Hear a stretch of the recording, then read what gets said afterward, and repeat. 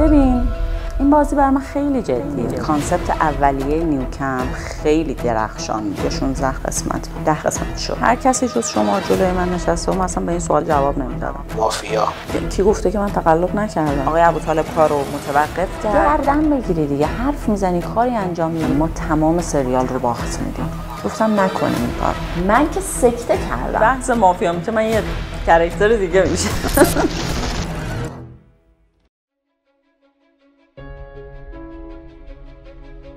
بهار افشاری متولد 1363 تهران است که 14 تیر ماه وارد 39 سالگی شد. اولین بار در سال 81 با بازی در فیلم ناف به کارگردانی محمد شیروانی حضور جلوی دوربین را تجربه کرد. این فیلم هیچگاه مجوز اکران نگرفت. اولین تجربه حضور او در یک سریال تلویزیونی در سال 83 با بازی در سریال مسافر پردردسر ثبت شد. افشاری در سال 84 با بازی در سریال مناسبتی او یک فرشته بود به کارگردانی علیرضا افغمی با ایفای نقش فرشته به شهرت رسید. اولین بار در سال 92 با بازی در نمایش شهر تنهای من به کارگردانی علی هاشمی حضور در صحنه تئاتر را تجربه کرد. ممنوعه به کارگردانی امیر پورکیان اولین سریال خانگی بهاری افشاری است که سال 97 در آن به ایفای نقش پرداخت. فیلم سینمایی روز ششم ساخته حجت قاسمزاده اصل تا به اینجا آخرین فیلم سینمایی اکران شده از بهار افشاری است که در سال 1401 روی پرده سینماها رفت. این فیلم محصول سال 99 است.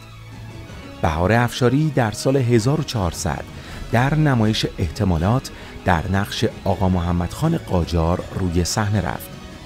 افشاری بعد از تجربه حضور در رئالیتی شوی شبهای مافیا در سال 1401 در رئالیتی شوی پدرخوانده حاضر شد. شرکت در این رئالیتی شو محبوبیت زیادی را برای این بازیگر به ارمغان آورد تا جایی که توسط مخاطبان پلتفرم فیلمنت به عنوان یکی از سه بازیکن برتر پدرخوانده انتخاب شد. سلام عرض می‌کنم خدمتتون خانم افشاری. خوش اومدیم به فصل جدید برنامه روبرو. در ابتدا اگه سلام علیک حرف منم سلام عرض می‌کنم و خیلی خوشحالم که امروز پیش شما. بعد از مدتی که تو عرصه بازیگری فعالیت نداشتین با کمدی نیوکم کارتون از سر گرفتین. چرا این سریال و چرا کار کمدی؟ من در حقیقت بعد از سریال ممنوعه سه تا فیلم بازی کردم و دو تا تئاتر که یکی از اونا خیلی بیشتر براش انرژی و وقت و اینا گذاشتم و بعد به دلایل اینکه به خاطر اون تئاتری که کار کرده بودم یه چند تا سریال رو نخواستم که کار کنم. تو اون تایم دلم می‌خواست بیشتر اون تئاتر رو بازی کنم. فکر کردم که شاید بعد از مدت ها چون فکر می‌کنم نزدیک به ده سال بود که هیچ کار تنزی بازی نکرده بودم. دلم می‌خواد که در حقیقت یک تجربه طنز داشته باشم و اینکه concept اولیه نیوکمپ خیلی درخشان بود. یعنی اصلا همین که تو فکر کنی یک خانواده ای که وضع مالی خوبی ندارن و سطح IQ شون هم انگار که خیلی پایینه همشون. تصمیم می‌گیرن که سر یک اتفاقی برن و مسی رو تلکه کنن. و خیلی concept بی نظیری داشت. اوت! باید مسی شکایت کنه. چی؟ حرف یه میلیون دلاره. سریال در همون ابتدا ترکیب برنده ای نداره. من خیلی صریح میگم هم به لحاظ در واقع تجربیات شکست خورده آقای هادی به عنوان کارگردان و هم ترکیب بازیگران. اگه آقای معجونی و شما رو کنار بذاریم ترکیب ترکیب برنده ای از بیرون نیستش. این شما رو به قول معروف چالش نکرد. ببین چجوری بگم؟ من فکر می‌کنم که خیلی این چیزا جواب نمیده که مثلا تو فکر کنی که این, این چهار تا بازیگر کنار هم ممکنه که ترکیبشون جواب بده یا موفق بشه. یا مثلا اینا ممکنه که جواب نده. نه من فکر می‌کنم که این روزا خیلی هنر معقوله نیستش که قابل پیش بینی باشه و اینکه حداقل من آدمی نیستم که خیلی به این چیزا فکر کنم و اینا. یعنی فکر می‌کردم شاید در اون قالب هر کسی در جای خودش درسته. ولی یه راجب آقای هادیم خیلی دوست ندارم که یعنی خودم رو در موضع و شرایطی نمی‌بینم که بخوام راجب همکارام نظر بدم. ولی آقای هادی هم مثل هر کارگردان یا هنرمند دیگه یه سری کارهای موفق داره و یه سری کارهایی که حالا کمتر دیده شدن. در نتیجه اون موقع فکر می‌کردم این چیزا خیلی قابل پیش بینی نیست. یعنی تو یه وقتی کاری رو می‌بینی که فکر می‌کنی خب این که هیچ اتفاقی چون من خودم این تجربه رو داشتم. من در او یک فرشته بود. همه به هم می‌گفتن که تازه اون موقع که مثلا خودم هم تجربه بازیگری یه دونه بیشتر نداشتم. که این ترکیب قطعا در مقابل ترکیب شبکه های دیگه میبازه. ولی خب این اتفاق نیفتاد.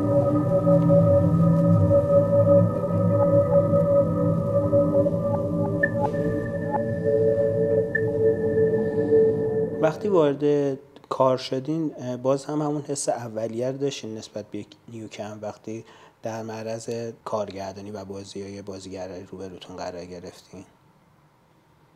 حس اولیه‌ای که فکر می‌کردید کار ببین تنها چیزی که منو جذب کرد اولین بار برای اون کار فیلم نامش بود. یعنی من فکر می‌کردم که طرح و فیلم نامه خیلی خوبه. و آقای کایدان هم همزمان با اینکه ما می‌خواستیم کار شروع کنیم قرار بود که تغییراتی بدن و این کارا رو انجام می‌دادن.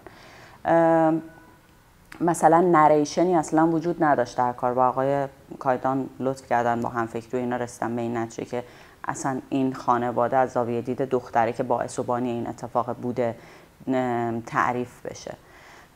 و یه چیز دیگه ای که داشتیم بود که من در این دو سه سال اخیر سعی کردم هی نقش های متفاوت تجربه کنم. برای اینکه راستش آقای سعیدی من چند سال رسیدم به یه جایی که فکر می‌کنم دلم می‌خواد از مسیر لذت ببرم. خیلی شاید دیگه آدمی نیستم که به نتیجه فکر کنم.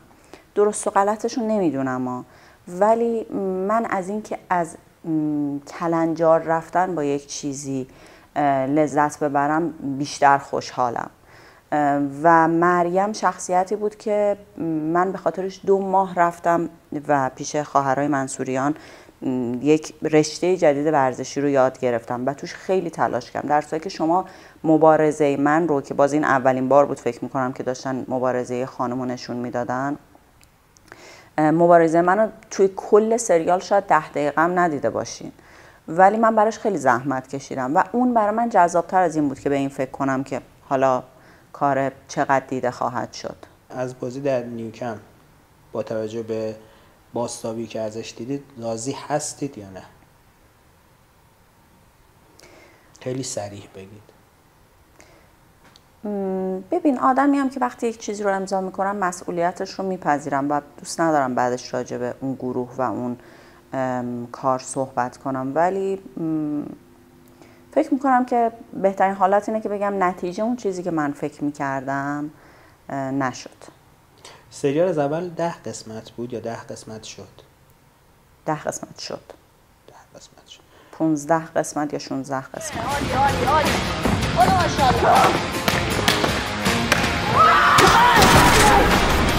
قبل از نیو کمپ حالا به شکل غیر رسمی تو اخبار و رسانه اومده بود که قرار بود تو دو تا سریال خانگی بازی کنید یکی خونسرد و اقرب عاشق. چی شد اینا رو قبول نکردید؟ اینا اطلاعات شماست و اخبارش جایی نیومد. خونسرد چرا ولی اقرب عاشق نه. ببین بذار راجع به اقرب عاشق بهتون بگم. حالا خبر رسمیش که هیچ وقت جا نیومد ولی بله من اونجا قرارداد داشتم. من موقعی که فیلم نامه رو خوندم با خودم فکر کردم که این فیلمنامه فیلمنامه سختیه حداقل ساختنش در ایران. برای اینکه ما تا حالا این ژانر رو نداشتیم و اگر که اون قسمت جلوه های ویژش اونجوری که ما فکر می‌کردیم و قرار بود که بشه در نمی اومد به قصه هم آسیب می‌رسید. و چون من تجربه یه کار اینجوری حالا یه ذره فضای سورئال ما برای این مدلی داشتم واقعیت اینه که ترسیدم. و هرچی این قسمت ها می‌رفت جلوتر متن من رو راضی نمی کرد که در حقیقت اون کار رو انجام بدم. و یه روز در نهایت آقای سویلی زاده گفتم که من جرأت بازی در این ژانر رو ندارم. کنسرت چطور شد؟ خون سرد ما قرارداد رو بستیم. خیلی هم من هم نقشم رو دوست داشتم هم فیلم نامه رو دوست داشتم. اتفاقا اونم جزء ژانرایی بود که من تجربهش نکرده بودم و خیلی دوست داشتم که کار کنم اتفاقی که افتاد این بود که فکر می‌کنم به خاطر مسائل مالی یا مجوز که به متن داده نمی‌شد کار پنج ماه عقب افتاد. چهار یا پنج ماه عقب افتاد. و خورد به اجرای تئاتر من. و من ترجیح همین بود که تئاتر کار کنم. اگه اشتباه نکنم تئاتر احتمالات بود دیگه. بله بله. توی تئاتر احتمالات نقش آقا محمد خان قاجار رو بازی کردید. یه مقدار راجع به این نقش بازی بدین چطور شد که اصلا همچین نقشی رو بهتون پیشنهاد دادن؟ علی شمس از دوستان بسیار خوب منه و کارگردان بسیار با استعدادیه در تئاتر به نظر من و بسیار باسواد من خب قبلا کارهای دیگرشون رو دیده بودم و خیلی هم دوستشون داشتم کاراشو. یه روز ما همینجوری نشسته بودیم. دو سال قبل از این که اصلا احتمالات رو شروع کنیم قبل از حتی دوران کرونا من تئاتر زیبایی گاهی زن است رو داشتم. بعد از اون اجرا یه دفعه همینجوری که داشت صحبت می‌کرد یه نگاه به من که گفت تو می‌دونی خیلی ته چهرت شبیه آقا محمد خان قاجاره؟ و من گفتم راست میگی؟ اجازه بده من رفتم search کردم دیدم راست میگه. یه فرم صورت خیلی به هم شبیه ها بعد گفتش که دوست داری اگه یه روزی من خواستم اینو بسازم کار کنی و اینا و من برام خیلی جالب بود. اصلا یکی از دلایلی که من در time شیش ماه قبل از اجرا و زمان اجرای احتمالات خیلی از کارا رو نخواستم که بازی کنم و خواستم متمرکز باشم این بود که فکر کردم که مگه چقدر پیش میاد برای من که یک نقش مرد که از غذا پادشاه بوده به من در طول زندگی حرفه این پیشنهاد بشه. و ولی سریال خب طبیعتا سالی چند تا پیشنهاد میشه و تو می‌تونی از بینش انتخاب کنی. من نمی‌خواستم به عنوان بازیگر به همون دلیلی که گفتم خدمتتون که دلم می‌خواد از این مسیر لذت ببرم نمی‌خواستم به عنوان بازیگر این فرصت رو از دست بدم. الانم اگر همین اتفاق بیفته باز ترجیحتون احتمالاته. صد درصد. بده چرم بدن نگیرم نگیرم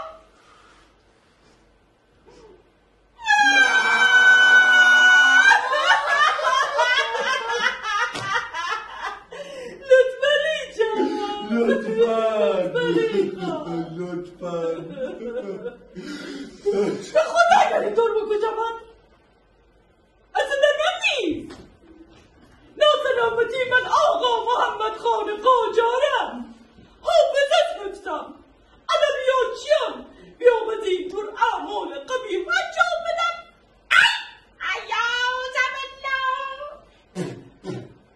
ما خب تو دوران کرونا هی تمرین می‌کنیم متوقف می‌کنیم دوباره تمرین می‌کردیم.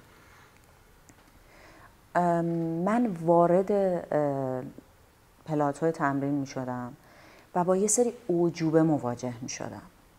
یعنی با یک سری آدمایی که بچه های حرفه‌ای تئاتر با بدنهای فوقالعاده بیانهای عجیب یه دفعه می‌تونستن مثلا ده مدل بیان مختلف رو برای کاراکتر در نظر بگیرن. همه خلاق و هر روز اینجوری بودم که خب من در این سالها اگر اینا دارن بازیگری انجام میدن من چیکار کردم؟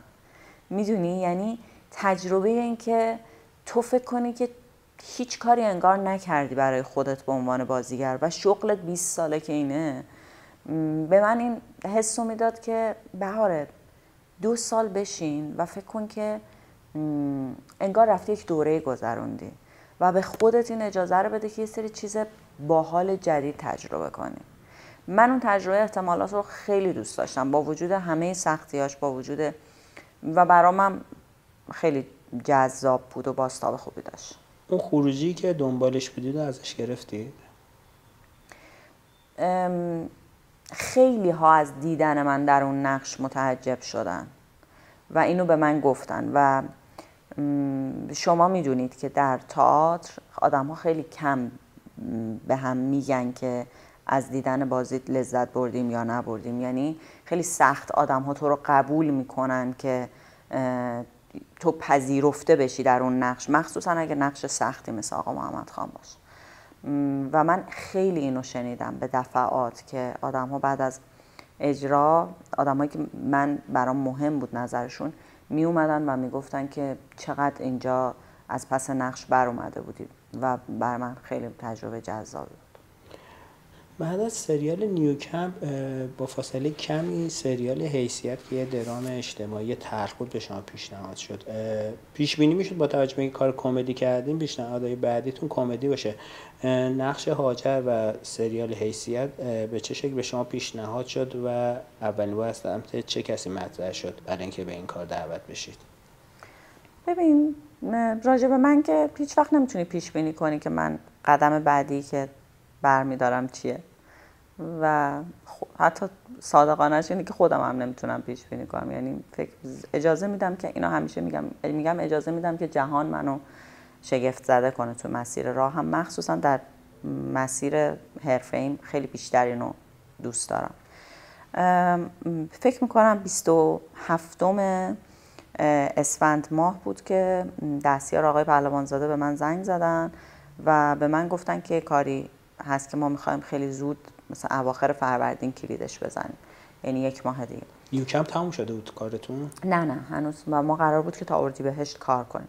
و به خاطر اینکه ما هر روز یه مسافت خیلی طولانی می‌رفتیم تا لوکیشن نیوکمپ و خیلی هم یعنی کار اینجوری بود که من تقریبا هر روز آفیش بودم.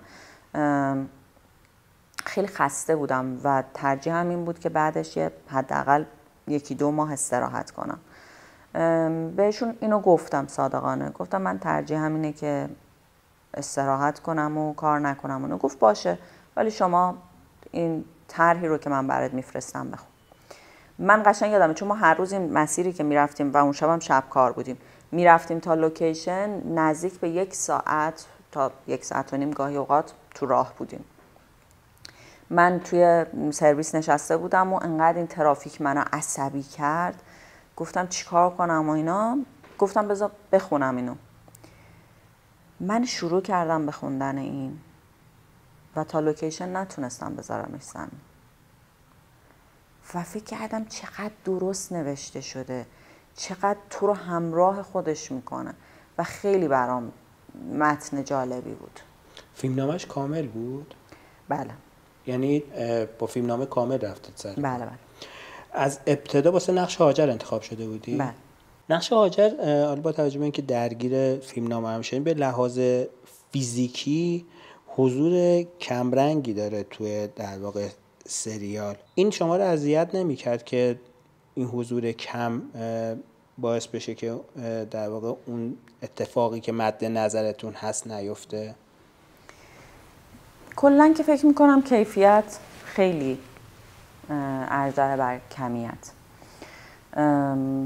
مخصوصا در بازیگری ولی یه اتفاق خیلی جالب افتاد. من جلسه اولی که رفتم برای تمرین و گفتگو با آقای پهلوانزاده آقای سلگی یه جمله به من گفتن که در ادامه حرفای شما گفتن که بهاره اگر که این نقش به هر دلیلی در نیاد و مخاطب در قسمت یک با تو همزاد پنداری نکنه ما تمام سریال رو باخت میدیم و حرفشون درست بود. به خاطر اینکه باید هاجر به دل تو می نشست به عنوان مخاطب که تو می‌تونستی قبول کنی که شخصیت امیر هشت قسمت برای این, این همه کار انجام بده.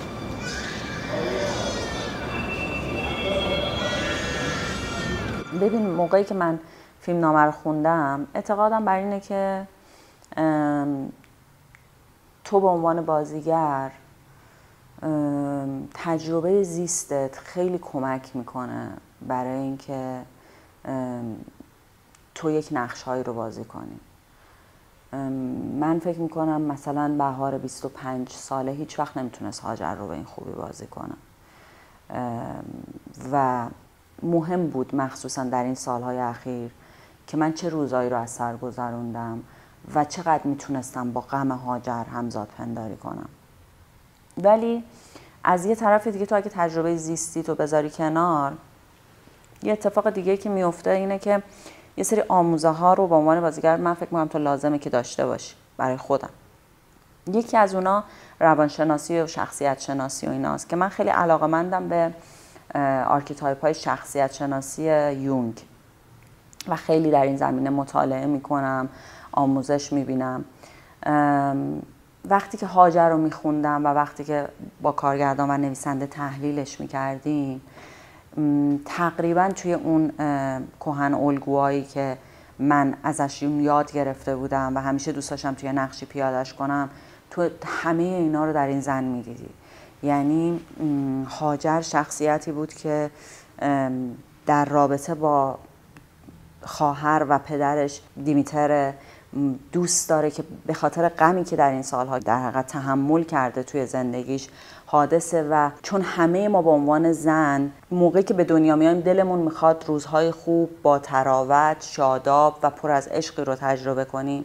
رفته رفته که زندگی می‌کنیم جهان دونه دونه اینا رو از ما می‌گیره. و مهمه که تو چه برخوردی باهاش می‌کنی. اصطلاحا میگن هر زنی یک پرسفون زایده میشه. و موقعی که جهان اینا رو از تو می‌گیره تو یا نقاب زن قوی به صورتت می‌زنی که میشی آرتمیس که باز هاجر در زندگی قبلش این کارو می‌کنه و موفق نمیشه و طلاق می‌گیره. و تصمیم می‌گیره دوباره یک نقاب جدید به خودش بزنه و باز می‌بینه تو این زندگی هم کسی اون رو نمیشنوه و نمی‌بینه. و دیالوگ شاهکار و درخشانش که من بارها باهاش گریه کردم و اون روز چندین بار این پلانو گرفتیم. اونجایی که میگه من نامرئیم و کسی منو نمی‌بینه و من فکر کردم این درد خیلی از زنهای ما امروز توی جامعه است که نامرئین و دیده نمیشن.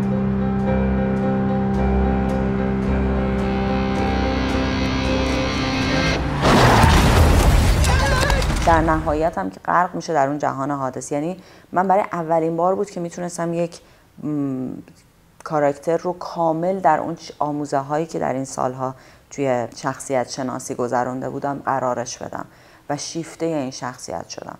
و هر دفعه که با هر کدوم از اینا همزاد پنداری می‌کردم سعی می‌کردم اینو توی چشمام حرف زدنم نگاه کردنم و توی کل بدنم اینو نشونش بدم.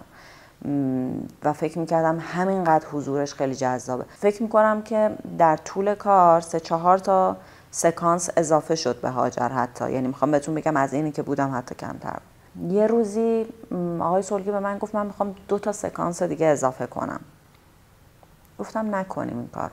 انقدر این همینقدر حضورش اندازه است و تاثیر خودش رو در قصه می‌ذاره به نظرم اضافه شدنش ممکنه که از این تاثیر گذاریش کم کنه. هاجر دیده بودید تو زندگی واقعی؟ جایی دیده بودیدش بله خودم. یه چیزی بگو بسه کمکت کنم. نمیشه که دستی دستی خودتو بدبخت کنی هاجر سر من داد نزن. به عنوان یه زن چقدر به هاجر حق می‌دید که انقدر زندگی خودش و اطرافیانش رو دچار چالش کنه؟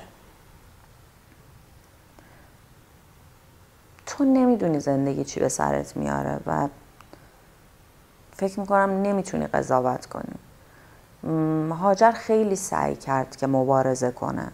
خیلی سعی کرد که قوی باشه و بجنگه. و شاید کمی خودخواهیش زندگی دیگران رو دچار چالش کرده بود. ولی از اون طرف خوبی هم داشت دیگه. یعنی اون کاری که برای خانوادهش می‌کرد. و من اعتقاد دارم که امیر رو خیلی زیاد دوست داشت. من فکر می‌کنم مثل همه ما هاجر خاکستریه. ولی خاکستری که تو باورش می‌کنی. یعنی میگی که شاید اگه این بلاها سر منم میومد منم این کارو می‌کردم. ولی شاید من زیاده خواهیم اندازه هاجر نیست. و در نهایت هم تو می‌بینی آدمی که زیاده خواهد تهش به خودش آسیب می‌زنه. یعنی این بر میگرده سمت زندگی خودش و یه جاییه که دیگه می‌بینه همه چی رو باخت داده و مجبور بپذیره که قربانی بشه. زوج تو با آقای حسینی نیا خیلی خوب در اومده بود. راجع این همکاری هم بگید و نقش مقابلتون. آقای حسینی نیا که واقعا جنتلمنه درجه یک و پارتنر بی‌نظیریه. من یادم اولین سکانس فکر کنم سریالم هست که سکانس سالگرد ازدواجمونه که اون اتفاق سینی و اینا که چند جا پخشم شد. قبل از اینکه این اتفاق بیفته ما خیلی خب خیلی تمرین می‌کردیم و قبلتر هم در دورخونی اینا خیلی تمرین کرده بودیم. من یه جا بهش گفتم که آقای حسینی نیا می‌خوای مثلا اینو یه ذره یه جور دیگه تو اجرا کنی؟ گفت نه. گفتم که چرا؟ گفت بخاطر اینکه این سکانس مال توه. و من اصلا نمی‌خوام در این سکانس دیده بشم. می‌خوام کمترین حرکت ممکن رو انجام بدم که تو تمامیت خودتو تو صحنه نشون بدی. و من فکر می‌کنم خیلی کم پیش میاد که تو این شانس رو داشته باشی که روبروی پارتنری بازی کنی که بگه این سکانس امروز مال توه و تو توش بدرخش. اون سکانس اگه چند تا برداشت میشه تو هم چیزی از حسینی باقی نمیمون آره. روز آخرم که من نمی‌دونستم به تازگی متوجه شدم که یه بلای دیگه هم سر این بنده خدا اومد. آره خیلی اتفاق عجیبی بود. ببین این دیسی که دست من بود چینی بود. و من واقعا فکر می‌کردم اینا دروغ دارن میگن این چینیه.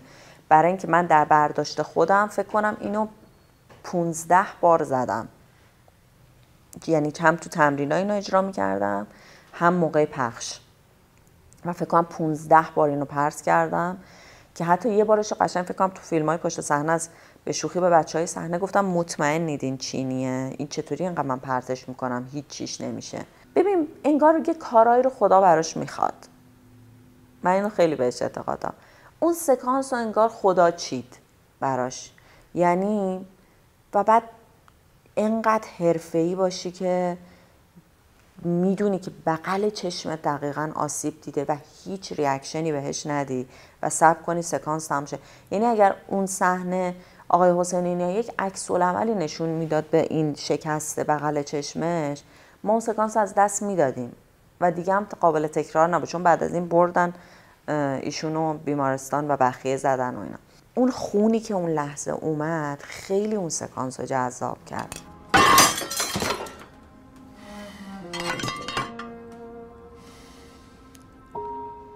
کار با پهلوان زاده چطور بود و اینکه آقای مهدویان به عنوان مشاور چقدر در واقع حضور داشتن سر کار؟ آقای مهدویانو که من هیچ وقت ندیدمشون سر کار.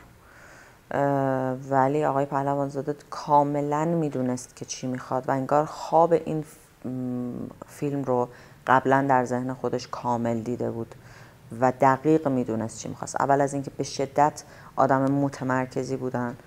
و خیلی تمرینا براشون جدی بود و پیش تولید م، پرتمرینی هم ما حتی داشتیم و خیلی تحلیل می‌کردیم نقشا رو. میگم با وجود اینکه نقش من اونجا نقش کوتاهی بود ولی خیلی جلسات تحلیلی داشتیم. ولی من یادمه که در اون سکانسی که بچه کشته میشه خب من به عنوان بازیگر تمام تلاشمو می‌کنم که هر کاری که می‌کنم بیشتر دیده بشه. در نتیجه یه, یه مدل گریه داشتم انجام می‌دادم که الان متوجهم که خیلی گریه گریه اگزجره ای بود. و دو سه بار گذاشتن که اونجوری که من دلم می‌خواد اجرا بشه. بعد از برداشت سوم من خب طبیعیه که سطح انرژی اومده و پایین تر و گفتم که نمی‌تونم و سطح انرژی اومده پایین و اینا من دلم خواد اینجوری اجرا کنم. و به- خاطر اینکه تدوینگر خیلی خوبی هم هستن به من گفتن که لطفا به من اعتماد کن و اجازه بده که من هاجر رو یک یه جور دیگه ای ببینم. برای اینکه من فکر می‌کنم انقدر بلا سر هاجر اومده که این سطح از گریه که تو الان داری می‌کنی الان اینجا لازم نیست. و این اینجا اتفاقا باید خیلی در حقیقت شوکه باشه از این اتفاقی که افتاده. چون دیگه اونجا در اون تیر خلاصیه که بعدش هاجر میره و خودکشی می‌کنه این بچه از کجا آوردی آجر؟ بچه دوست آشناست؟ بریم سر بحث شیرین مافیا. و همه هواشیش دوست دارم خیلی سریع جواب بدید این بخشا جواب میدین؟ سعیمو می‌کنم دیگه ببین اصلا بحث مافیا میشه من یه کرکتر دیگه میشه. سابقه بازی مافیا رو داشتید؟ اصلا با این بازی آشنایی داشتید؟ که دعوت شدید نه.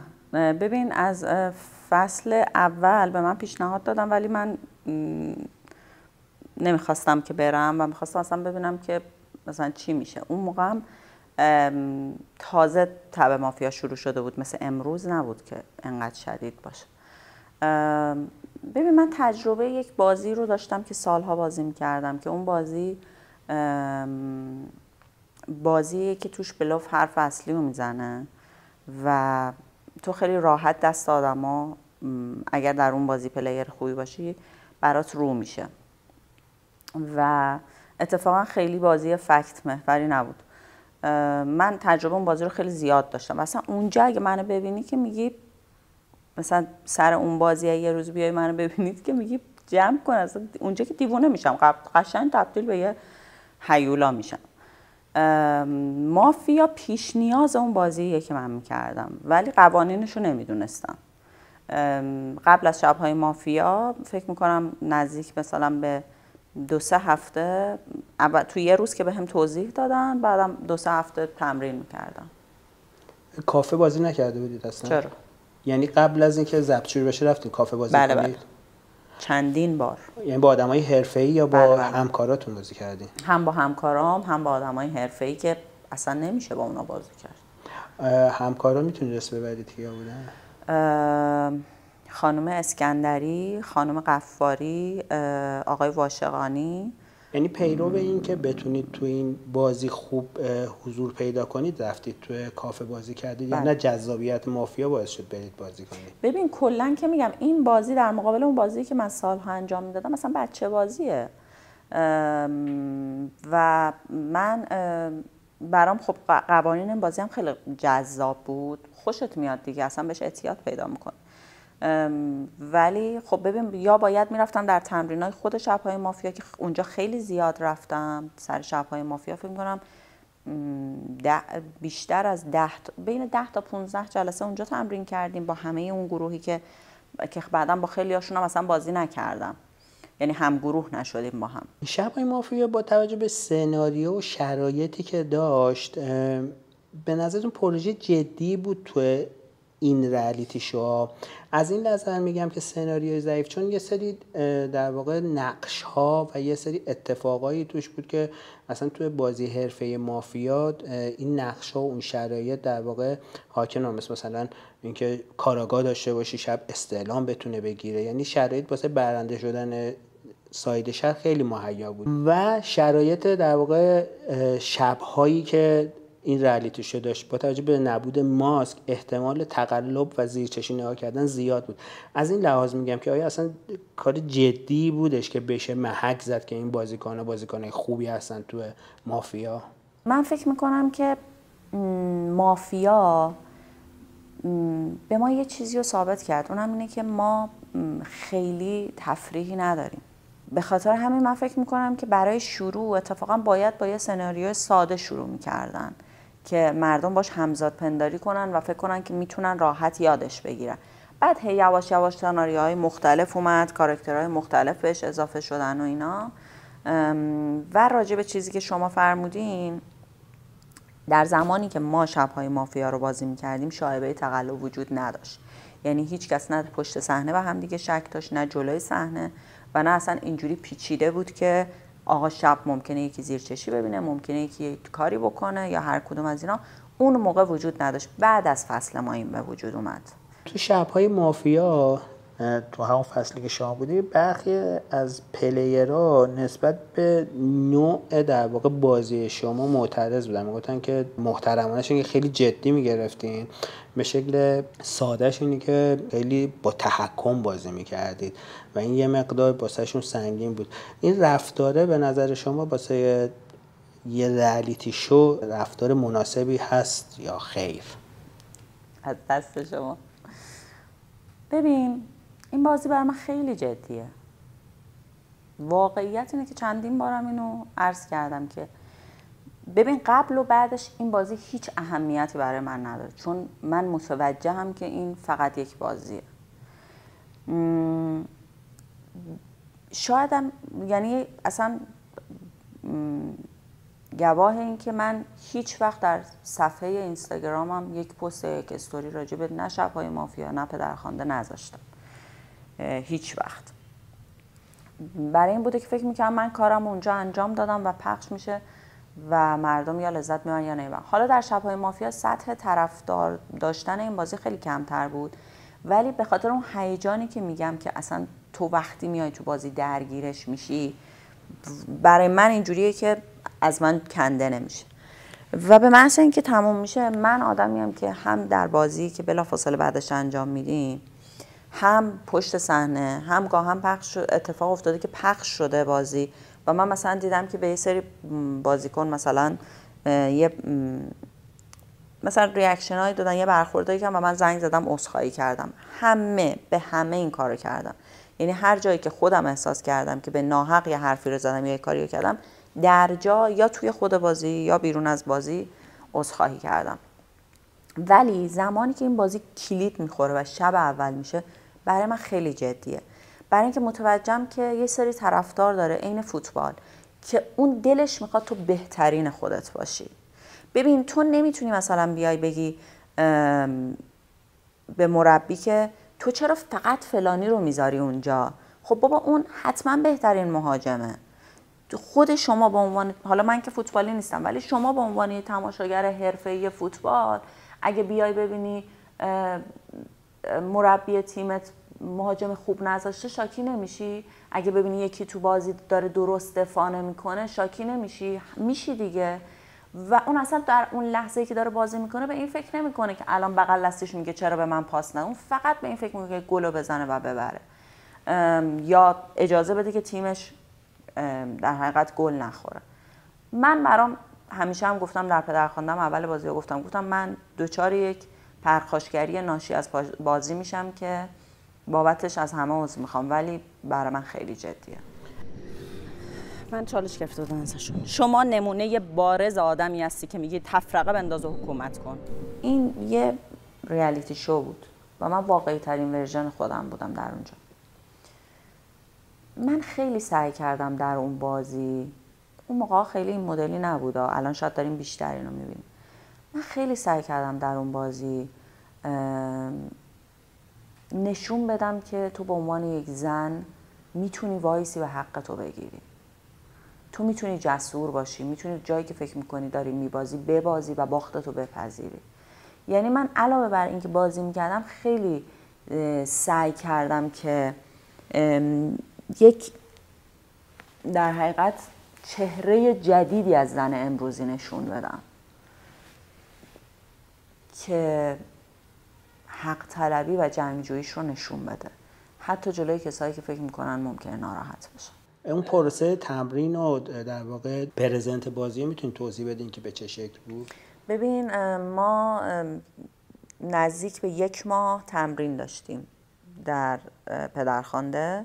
حالا نه هر روز ولی مثلا می‌شد یه دفعه سه روز می‌رفتیم پنج روز نمی‌رفتیم یا هر کس اگه کار داشت نمی‌رفت. ولی کل گروه تقریبا هر روز تمرین داشتن. به خاطر اینکه یک شخصیت اضافه شده بود به اسم نوستراداموس سناریوی کلی که اصلا تغییر کرده بود. مثلا ما دیگه کاراگاه نداشتیم. مثلا تو فصل بعد از ما فکر کنم این شخصیت بود به اسم بادیگارد. ما مثلا دیگه بادیگارد نداشتیم و کلا سناریوی جدیدی اومده بود. پس مستلزم تمرین بود. حتی من یادمه که ما چهار قسمت اول رو گرفتیم. چهار قسمت چی بهش میگن؟ مقدماتی. مقدماتی رو گرفتیم. گروه بعد که اومدن توی بازی ها یه ذره مثلا درگیری و آشفتگی ذهنی به وجود اومده بود سر همین کاراکترها. آقای ابو طالب کار رو متوقف کرد. دوباره یک ماه کامل تمرین کردن و در حقیقت مقدماتی تیم دو یک ماه بعد دوباره گرفته شد. یعنی خیلی براشون مهم بود که تمرین و جدیت لازم وجود داشته باشه. یکی از اتفاقای خوبی که تو پدرخوانده افتاد عدم تفکیک گروه خانوما و آقایون بود. یعنی در واقع به سبک همون فیناله خود شبهای مافیا که خانوما و آقایون در کنار هم بازی می‌کردن. این تو پدرخوانده از همون اول شکل یا تو تمرین به این رسیدن که در واقع گروه ها رو تفکیک نکنن؟ نه از اول قرار بود که تفکیک نشه. تو پدرخوانده به بعد بود که یه لقبی به شما دادن به نام مادرخوانده. از این لقب راضی هستی؟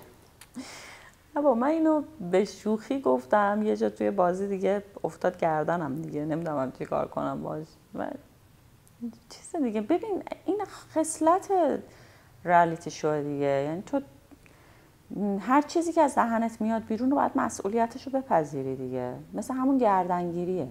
باید گردن بگیری دیگه. حرف می‌زنی کاری انجام میدی برخوردی می‌کنی. باید پاش وایسی دیگه. مگه گردنگیر نمی‌خواین؟ من گردن می‌گیرم. اگه رفت بیرون استعلام می‌گیریم مافیا اعلام نشد من از این شهر میرم. آقای واشقانی شهروند صد در خصوص خود شما تو در واقع بعد از دور مقدماتی شایبه ایجاد شد که با وجود همه در واقع تمهیداتی که برای جلوگیری از تقلب انجام شده تو این فصل پدرخوانده تقلب از سمت شما شکل گرفته. و به یه نوعی در فصل دوم مافیا توسط یه سری از پلیرها بهش دامن زده شد. به شکل غیر مستقیم. در رابطه با این شایبه یه توضیح میدیم اصلا چجوری شکل گرفت؟ چرا این شایبه حال شما شکل گرفت؟ آیا یه جور انتقام گیری بود یا نه؟ یه سوء تفاهم بود؟ کی گفته که من تقلب نکردم؟ تقلب کردی؟ شما فکر نکردم؟ شما باید بگید دیگه. الان الان به ما بگین تقلب خب، کردین یا نه؟ بذار الان به من بگو شما فکر من تقلب کردم یا نکردم؟ ما با توجه به چیزی که تو برنامه دیدیم چیزی از تقلب ندیدیم. یعنی شرایط تقلب رو ما به عنوان بیننده حس نمی‌کردیم. خب اول از اینکه الان هر کسی جز شما جلوی من نشسته و من اصلا به این سوال جواب نمی‌دادم. ولی اختیار ولی چیزی که وجود داره اینه که این دقیقا عین خود بازیه. من توی بازی همیشه میگم اولین اصل مافیا اینه که تو شنونده خوبی باشی. و شنونده باهوشی باشی. ببین الان شما به من میگی که چرا این شایبه برای شما تایید نمیشه؟ به خاطر اینکه میای بازی های منو می‌ذاری کنار هم دیگه. fact هایی که من میارم می‌ذاری کنار هم یا نه خیلی جا حسی بازی کردم. میای از من می‌پرسی و من راجبش توضیح میدم. حتی در خود بازی هم این اتفاق میفته و از همه مهمتر این که من میرم live بازی می‌کنم. و من با همین گروه قبلا کافه بازی کردم. دیگه می‌دونی مثل اینه که شما بیای به من بگی که ثابت کن که چشات سبز نیست. میگم خب اصلا از هر من شمس که چشای من سبز نیست. من چی رو بیام ثابت کنم؟ که مثلا راجبش توضیح بدم. خب وقتی سبز نیست معلومه که سبز من که می‌دونم سبز نیست که. حالا اون کسی که این شایعه بر را میندازه ببین اومدن در در حقیقت شبهای مافیا اینو را انداختن. آقای ابو طالب نتیجه, نتیجه گیری کرد که بیاد ماسک بذاره و سناریو رو تغییر بده و اصلا به یک شکل دیگه اجرا کنه. خب این جوابیه بود که ایشون دوست داشت به اونایی که می‌گفتن تقلب کردن که اصلا شاید کرده. من نمی‌دونم من که با اون گروه بازی نداشتم. انجام داد. ولی راجع به خود من آخه من چی رو بیام توضیح بدم که مثلا بگم من الان به شما بگم من کردم بیا شما میخندی. بگم نکردم میگه آخ آخ دروغ میگی یا. ببین من خودم سال 96 یک مستندی ساختم که شما در جریانشی به اسم قضاوت که اصلا بحثم همینه. میگم تو هر کاری هر جوابیه‌ای که بدی در مقام یک آدمی که شناخته شده است و همیشه اطرافش حاشیه وجود داره هر جوابیه‌ای که بدی یه چیزی از توش می‌تونه در بیاد. پس تنها کار اینه که وایسی مادر خوانده اونه که در آرامش بجنگه و وایسه در زمان درست و در مکان درست اون جوابی رو که همه رو نه ولی قسمت زیادی از آدم هایی که عقل دارن و منطق دارن رو بهشون بگه که اصل ماجرا چی بوده. فکر کنم مثلا اولین باره که نسبت به این مسئله دارید واکنشش می‌دید چون تو از زمانی که مطرح شد حتی تو صفحه شخصیتون هم تو فضای مجازی هیچ واکنشی نشون ندادید حتی به کنایه و اینها. ببین اون چیزی که شما میگی در پدرخوانده سه بازیکن‌ها و اینا می‌گفتن که من فکر نمی‌کنم با من بودن. حالا می‌تونی از خودشون بپرسی پدرخوانده دو. پدرخوانده دو. من فکر نمی‌کنم که با من بودن. حالا اونی که شما فکر می‌کنید باید از خودش بپرسید چون من پرسیدم و جوابمو گرفتم. ببین کار یک صاحبی داره به اسم تهیه کننده و کارگردان. ایشون هیچ وقت اینو به صورت رسمی اعلام نکرد. و حتی اگه شما ازشون بپرسین فکر نمی‌کنم که تایید کن گرداننده داره که مسلط به در حقیقت اون بازی. ایشون هم چیزی نگفته. ولی از همه اینا مهمتر اصلا من میگم تهیه کننده و کارگردان در تیم من گرداننده در تیم من و اینا همه دارن منو ساپورت می‌کنن. شما فکر می‌کنی پلتفرم میاد آبروش پولش و سرمایش رو بذاره روی یک بازیکن و پس به این فکر نکنه که پس فردا ممکنه یک چیزی ازش در بیاد که حیثیت پلتفرم بره. اصلا اینجوری نیست. اشارتون به ماجرای نظرسنجیه؟ بله. حالا من اصلا نمیخوا... نمی‌تونم که اون نظرسنجی نظرسنجی درستی بوده یا نبوده ها. ب... یعنی اینکه من اصلا قبول ندارم که جز سه تا پلیر اول انتخاب شدم. لطف مردم بوده. اما من میگم وقتی پلتفرم میاد این نظرسنجی رو می‌ذاره و اعلام می‌کنه. ببین اگر به پلتفرم در حقیقت این ماجرا اثبات شده بود که از جانب شخص من تقلبی صورت گرفته می اومد اسم منو به عنوان نفر سوم حذف می‌کرد اسم نفر چهارم رو می آورد روی اسم من که اصلا به طور کامل منو نادیده بگیره. من فکر نمی کنم این چیز باشه. و بعدم اینکه من هیچ وقت آدم جواب دادن نبودم. شما منو می‌شناسی هیچ وقت در زندگیم به چیزی که فکر کردم که لزومی برای جواب دادن نیست جواب ندادم. و بعد میام بعد از ده تا event که دیگه می‌ذارم دیگه event ها مشخص کنه که live و همه چی داره کاملا زنده برگزار میشه.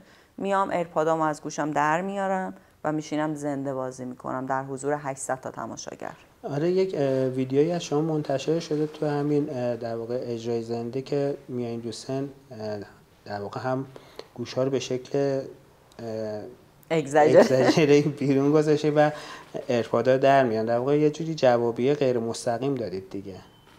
آره دیگه. اجرای زنده چجوری بود باستابش و اینکه در حضور مردم بازی کردید و مردم هم با شما در واقع چشمی بستن ببین اصلا ترسناکه دیگه. من به شوخی می‌گفتم که من با 80 اگه مافیا بشم با 8 شهروند بازی نمی‌کنم با 808 شهروند بازی می‌کنم. برای اینکه هر کدوم یه ریاکشنی میدم به تو هر کدوم یه ب... یعنی ببین مثلا فکر کن دو نفر کافیه دو نفر از توی جمعیت چیزی بگه. تو کاملا پرش ذهنی می‌گیری و ترسناک زنده بازی کردن واقعا. من حتی توی اون چیز به شوخی گفتم گفتم که من اصلا برخلاف جلوی دوربین که یه دفعه تبدیل به یه موجود دیگه ای میشم اینجا خیلی خجالتی و مأخوذ به حیام و اصلا نمی‌تونم و یه دست کامل طول می‌کشه تا من یخم باز شه. سرکار خانومه بهاره افشاری!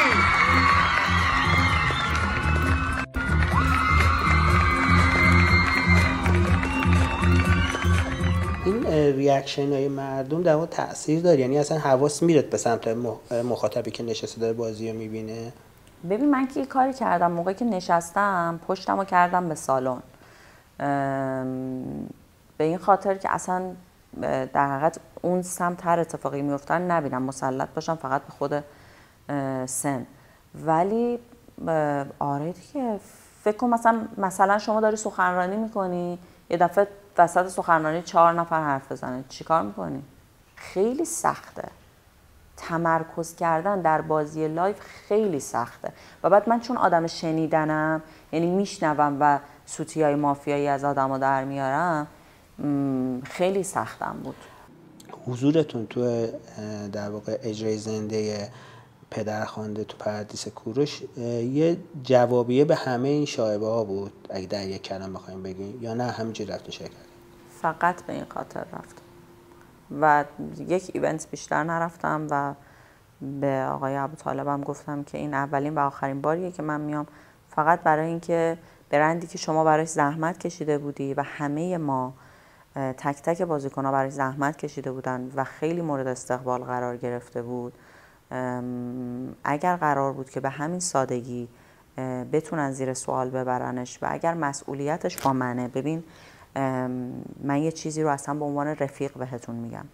شما وقتی که در یک رئالیتی شو حضور پیدا می‌کنی به همون اندازه که میپذیری توش محبوب بشی مشهور بشی بیش از آنچه که در سریال ها وجود داره دیده بشید به خاطر اینکه اصلا مدل دیده شدنش یه مدل دیگه ایه که قابل مقایسه با هیچ مدل محبوبیت و شهرتی نیست. وقتی که میپذیری اینو به همون اندازه باید بپذیری فوش بخوری به همون اندازه باید بپذیری که آسیب ببینی و باید انقدر قوی باشی که مسئولیت حرفها و چیزهایی رو که یا توی برنامه یا توی live میگی رو گردن بگیری. این عین همون واژه یعنی به این خاطر مثلا مافیا رو دوست دارم که عین زندگیه. تو یک چیزی رو که میگی باید مسئولیتش رو قبول کنی. اگر مسئولیت آسیب خوردن به برنده پدرخوانده من بودم و من از حضور در event های زنده همیشه و اصلا حتی reality show های دیگه. همیشه خودداری کرده بودم. من میپذیرم که بیام live بازی کنم و مردم تصمیم بگیرن که بازی من رو قضاوت کنن. یه بازی مثل آیفون 14 دوست داری دو ماه شده دستت کنی. به یه نکته اشاره کردید در رابطه همون قسمت در واقع جذاب فینال قسمت پایانی که در واقع سه تا از بهترین پلیرها به شکل عجیبی مافیا شدن. اینجا هم یه شایعه به وجود که کارتا زندومی پخش نشده. شما به عنوان کسی که تو ساید مافیا همراه با امیر علی و مجید قرار گرفتید این مسئله تایید می‌کنید یا تکذیب؟ ببین ما سه تا خبر نداشتیم. دیگه اینو از آقای ابو طالب بپرسیم. ما سه تا خبر نداشتیم و من که سکته کردم. یعنی من ببین تو به همون اندازه که می‌تونی پلیری باشی که شهر رو نجات بدی به همون اندازه وقتی ستامون با هم بلند شدیم ترسناک بود. به خاطر اینکه همشهریکین حتما با یکی از ما می نشست که با من نشست. حتما ما شک اول مافیایی تمام گروه خواهیم بود که بودیم. و اصلا خدامون هم به هم اصلا بدترین حالت این بود که ما خدامون به هم تارگت زده بودیم تو روز و این بله، اولین بله، باری بود که اول. آره و این اولین باری بود که این کار می‌کرد و دو اینکه مثل اینکه آقای نبویان و آقای واشقانی این این سناریو رو در تمرین های بار تمرین کرده بودن ولی من نبودم تو اون تمرین ها من تو تمرین هم بیشتر باز شهر شما. بازی پدرخوانده بودید درسته؟ آره ام، اینا من نمی‌دونستم بعد بازی فهمیدم که اینا یک بار اینا دو یکی دو بار اینا تمرین کرد. من موقعی که چشم باز کردم اینا رو دیدم که گفتم دو حالت داره. یا کلین شیت میپریم عین اون شبهای مافیا که من و ترلان و آقای نبویان مافیا شدیم و کلین شیت کردیم. یا اینکه همون روز اول ستامون رو به هر طریقی شده میدم بیرون. یعنی هم شریکین میشینه لئون می‌زنه و و می یعنی مفتزه میبازیم. و خیلی اون سناریو ریسکیه. خیلی ریسکش بالاست. یعنی اگر که در اون دست کسی که داده بودیم بیرون کنستانتین بود بدبخت بودیم. اگر امیر- امیرعلی نبویان رو بر نمیگردوندم بدبخت بودیم. اگه خریداری نمی نشست بدبخت. هر اتفاقی که غیر از این میافتاد اینم جزء همون چیزایی که میگم. یه دفعه خدا یه جایی برات میچینه. اینم جزء همون دستایی بود که مثل اون سکانس حیثیت خدا برامون چید. فقط تیم مافیا از خواب بیدار با کمترین حرکت موجود. همدیگر ببینن.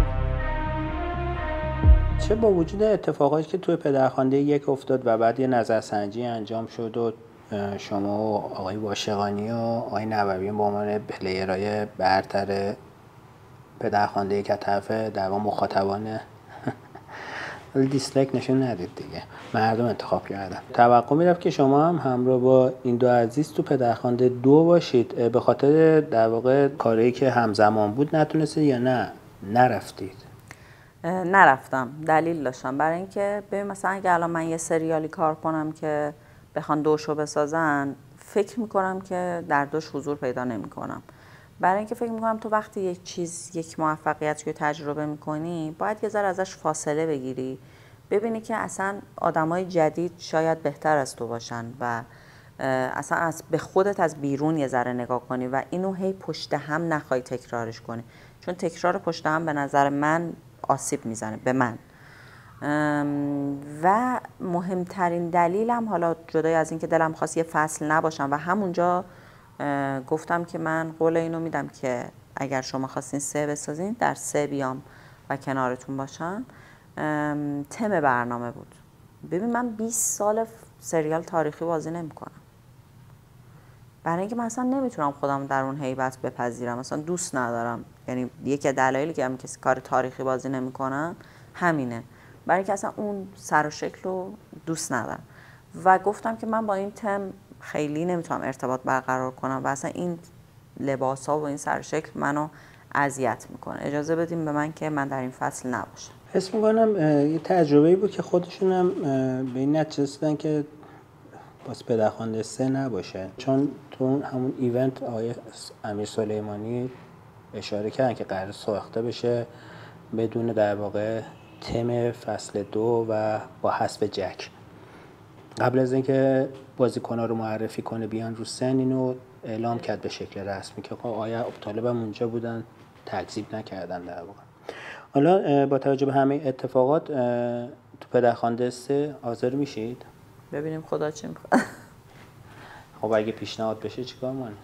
پیشنهاد که میگم از یک اصلا قرار بود که من سه حضور داشته باشم و دو نباشم. یعنی این قول من داده بودم و من آدمی هم که حرفم مهمتر از کاغذیه که امضا می‌کنم. فکر می‌کنم انشالله اگه خدا بخواد شاید این کار انجام شما جز بازیگری هستین که در دوره ای که رلیتی شوهای مختلف تولید شد. حالا یه سری بر پایه بازی مافیا ساخته شد که خدای ابو طالب هم در واقع متولیشون بودن. یکی ارتش سری زد و رالتی های دیگه ساخته شد. شما تو هیچ کدوم شرکت نکردید و فقط مافیا و پدرخوانده که حالا توی در واقع دسته بندی بودن حاضر شدید دلیل خاصی داره با توجه اینکه خیلی از دوستان شما تو انواع اقسام این ریالیتی شوها حاضرن یعنی به شکلی به پای ثابت این کار تبدیل شدن.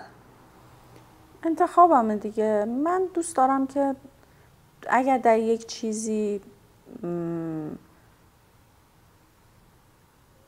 اسمم هست پای همون چیز باشه دیگه. یعنی دوست دارم که امضام رو یک جا بزنم. نه در برنامه های مختلف به شکل مختلف. انتخابم اینه که زیاد رالیت شو کار نکنم کما اینکه همشون هم لطف داشتن و به من گفتن. ولی دوست ندارم خیلی حضور داشته باشم. ولی به دلیل اینکه در حقیقت مافیا و پدرخونده رو دوست دارم و برنامه خودم می‌دونم این قضیهش کاملا برام فرق می‌کنه. حضور تو این ریالیتی شو واسه بازیگر مفیده یا مضره؟ با توجه که تجربه کردی. ببین من من آسیبی ازش ندیدم. من نمی‌دونم. ببین تو اگه در این برنامه ها خوب نباشی بله مضر صادقانش اینه که اگر که نتونی بهترین خودت باشی بله آسیب می‌زنه. ولی اصلا مدل دیده شدنش یه مدل دیگه. یه دیگه عجیبه دیگه. نمی‌دونم چجوری توصیفش کنم. عجیبه به خاطر اینکه خیلی مردم چون خود واقعی تو می‌بینن خیلی باهات همزاد پنداری می‌کنن. ولی لب تیغیه دیگه. بله. و, و باید ببینی که دوست داری خود واقعیت رو ببینن یا دوست نداری. و این زیاد دیدن خود واقعیت هم خب طبیعتا چیز داره دیگه. یه سری عواقبی داره که ممکنه آسیب زننده باشه به حرفه بازیگریت. من تو همین فاصله بین پدرخوانده و شبهای مافیا بعد از شبهای مافیا که همون سه تا فیلمی که بهتون گفتم و دوتا تئاتر رو کار کردم. بعد از پدرخواندم که نیوکمپ و حیثیت کار کردم. به من آسیبی نزده. من برای شما با فاکتور اینو میگم که نایت زده شده. توی صحبت های امیرعلی نبویان اشاره رو می‌تونین به حرفه‌ای ببینید. پلتفرم فیلم و سری جدید در واقع شبهای مافیا رو با یه ورژن جدید تولید کرد. پیشنهاد حضور تو این کار رو داشتید؟ قبول نکردیم بله. چرا قبول نکردیم یک به خاطر قولی که داده بودم که قرار بر این بود که در سه برگردم و فکر می‌کردم که خب اون برنامه برنامه خودمه و توش جا افتادم چرا باید بیام در یک برنامه جدید. و به خاطر قولی که داده بودم این کار نکردم دو برای اینکه همین دیگه یعنی فکر می‌کردم که لزومی نداره وقتی یه جای دیگه ای بودم در یک برندی بیام یه جای دیگه ای رو تجربه کنم. اونو دارم دیگه چرا باید این کارو بکنم؟ هی تو جاهای مختلف. خب اگه می‌خواستم در همون پدرخوانده دو حضور پیدا می‌کردم دیگه. سالا همین که تو عرصه مستندسازی دو تا تجربه داشتید که تجربه موفقی هم بود. فیلم سریک و دوچار. این کار رو چه ادامه ندادی؟ و اگه برنامه دارید واسه ادامه دادنش؟ خیلی در حوزه مستندسازی دوست دارم که کار کنم. فرصت نشده واقعا از سال در حقیقت 97 که سریک اکران شد. و اکران موفقی هم داشت به عنوان مستند. یه ذره واقعیت اینه که ترسیدم. به خاطر اینکه فکر کردم که باید اگر یک مستند دیگه می‌سازم به کمتر از این قانع نشم دیگه. همینقدر اتفاقات خوبی براش رقم بخوره. و دو اینکه درگیر بودم نمی‌تونستم کارو کنم. ولی حتما یه کاری در این حوزه انجام میدم. حالا شاید نه به این زودی ولی حتما انجام میدم. ممنونم. وقتی گذاشتید اگر فکر کنید حرفی باقی مونده صحبتی گفته نشده بفرمایید در خدمت نه. خیلی ممنون از شما. خیلی خوشحال شدم و امیدوارم که برنامه بشه که دوست داشته باشه